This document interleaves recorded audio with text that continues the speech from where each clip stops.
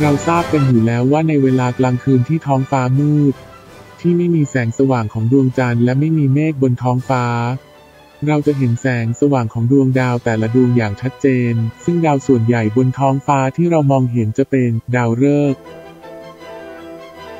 ดาวฤกษ์ส่วนใหญ่ที่เรามองเห็นจะอยู่รวมกันเป็นกลุ่มๆเราเรียกว่ากลุ่มดาวฤกษ์เมื่อเรามองกลุ่มดาวฤกษ์บนท้องฟ้า เราจะสามารถจินตนาการแล้วก็เชื่อมโยงกลุ่มดาวฤกษ์ได้เป็นรูปร่างต่างๆ มากมาย ไม่ว่าจะเป็นรูปร่างของคนสัตว์หรือสิ่งของต่างๆ ซึ่งรูปร่างต่างๆ เหล่านี้มาจากความเชื่อแล้วก็วิถีชีวิตรวมไปถึงวัฒนธรรมของคนในแต่ละพื้นที่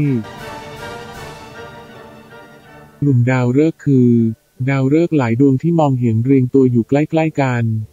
เมื่อจินตนาการแล้วเราจะสามารถลากเส้นเชื่อมโยงและมองเห็นเป็นรูปร่างต่างๆ ได้ กลุ่มดาวฤกษ์จะเรียงตัวโดยมีตำแหน่งที่คงที่ จึงทำให้มีรูปร่างเหมือนเดิมทุกคืน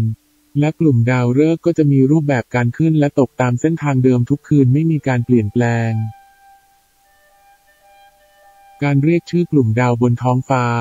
จะมีความแตกต่างกันไปตามแต่ละวัฒนธรรมในสมัยก่อน ตัวอย่างเช่น กลุ่มดาวนี้ก็จะมีลักษณะการเรียงตัวของดาวแต่ละดวงตามนี้ ซึ่งคนไทยและคนคนยุโรปก็จะมองเห็นกลุ่มดาวกลุ่มนี้ไม่เหมือนกัน คนยุโรปส่วนใหญ่เขาจะอยู่บนภูเขา มีอาชีพล่าสัตว์ จึงมองเห็นกลุ่มดาวกลุ่มนี้เป็นรูปนายพราน มีมือฝั่งหนึ่งจะถือคันธนู แขนอีกฝั่งหนึ่งก็ทำท่าเหมือนกับคนกำลังจะยิงธนู ชาวยุโรปเห็นเป็นแบบนี้ก็เลยเรียกว่ากลุ่มดาวนายพรานส่วนคนไทยส่วนใหญ่จะตั้งบ้านเรือนอยู่ริมน้ำและก็เป็นชาวนา จึงมองเห็นกลุ่มดาวกลุ่มนี้เป็นรูปเต่าแล้วก็มีคันไถอยู่ตรงกลาง กลุ่มดาวนายพรานหรือกลุ่มดาวเต่านั้น เป็นกลุ่มดาวที่เราจะต้องทำความรู้จัก กลุ่มดาวนี้จะพบเห็นกลางท้องฟ้าในช่วงหน้าหนาวทางด้านทิศตะวันออก ถ้าเราหันหน้าไปทางทิศตะวันออกและดูบริเวณกลางท้องฟ้า เราก็จะเห็นกลุ่มดาวนายพรานหรือกลุ่มดาวเต่าดาวที่เห็นเด่นชัดเลยที่สุดก็คือกลุ่มดาวสามดวงตรงกลางที่เรียกว่ากลุ่มดาวไถ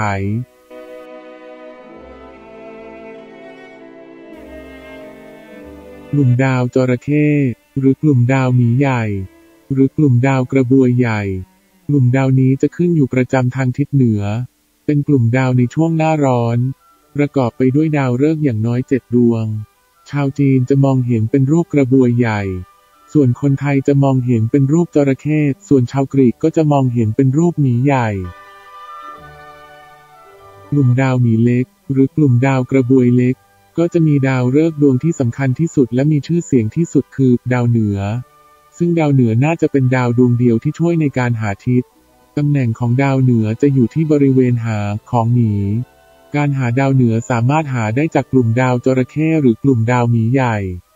โดยลากเส้นจากกลุ่มดาวสองดวงแรกซึ่งจะชี้ไปยังดาวเหนือซึ่งอยู่ที่ปลายหางของกลุ่มดาวหมีเล็ก ส่วนวิธีที่สองก็คือ หาได้จากกลุ่มดาวค้างคาว กลุ่มดาวค้างคาวเรียกอีกอย่างหนึ่งว่ากลุ่มดาวแคสซิโอเปีย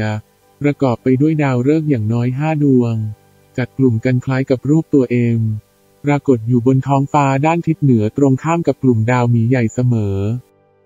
สามารถใช้กลุ่มดาวค้างคาวในการหาตำแหน่งของดาวเหนือ โดยกลุ่มดาวค้างคาวจะมีดาวดวงที่สามตรงกลางจะชี้ไปที่ดาวเหนือ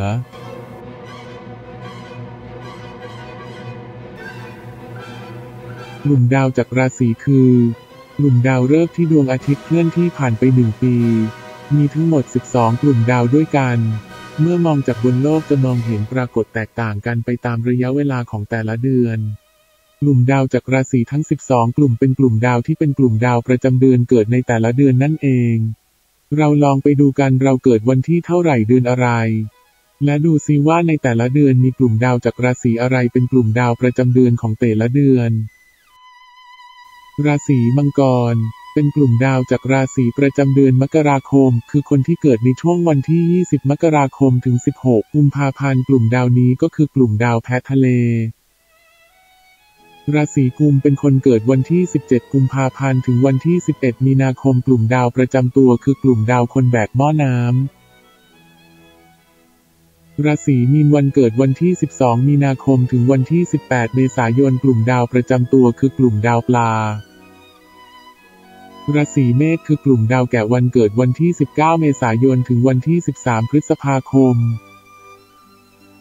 ราศีพฤษภคือกลุ่มดาววัววันเกิดวันที่ 14 พฤษภาคม ถึงวันที่ 21 มิถุนายน